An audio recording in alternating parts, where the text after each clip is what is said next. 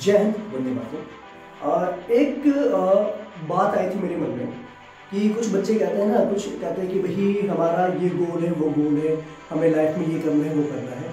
ठीक है? फिर बोलते हैं कि भैया, हमारा लाइफ में गोल तो ये है, लेकिन फिर इस चीज़ का भी रोना गाते हैं कि भाई, हमारे लाइफ में इतनी डिफिकल्टीज आ रही ये आ रहा है, उसको अचीव नहीं कर पा रहे हैं। ठीक है बेटा अब देखो मेरी बात सुनो, पहली बात जब बेटा आपको पता है गोल आपका है टारगेट आपका है, ठीक है?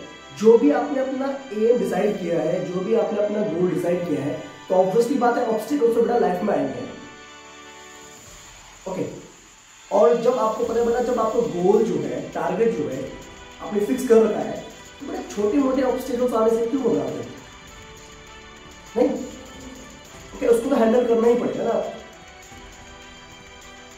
है ना? अब जब गोल भी आपका है मेहनत भी आपको ही करनी है सक्सेसफुल भी आपको ही होना है। तो फिर भाई दूसरों को बता के फ़ायदा नहीं? तो इसीलिए बेटा साइलेंटली अपने गोल के ऊपर वर्क कीजिए, है ना? और डिसिप्लिन के साथ कीजिए। है? जैसे बेटा आपने देखा ना, एक चीटी का एग्ज़ाम्पल अगर ले आप चीटी कह रहे कंटिन्यूसली बेटा जो है, अगर वो किसी भी टारगेट पर जा रही है, वो कंटिन्यूसली मूव करती जा रही है।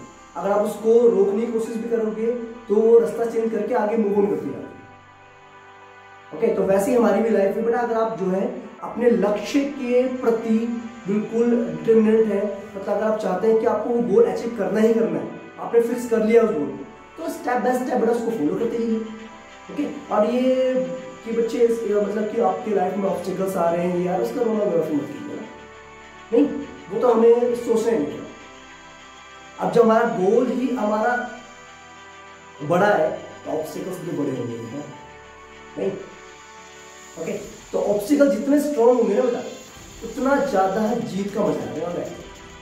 ओके तो घबराने की बात नहीं है। अपने टारगेट पर फोकस कीजिए और बाकी जो भी ऑब्स्टेकल्स हैं, उसको थोड़ा इग्नोर करें।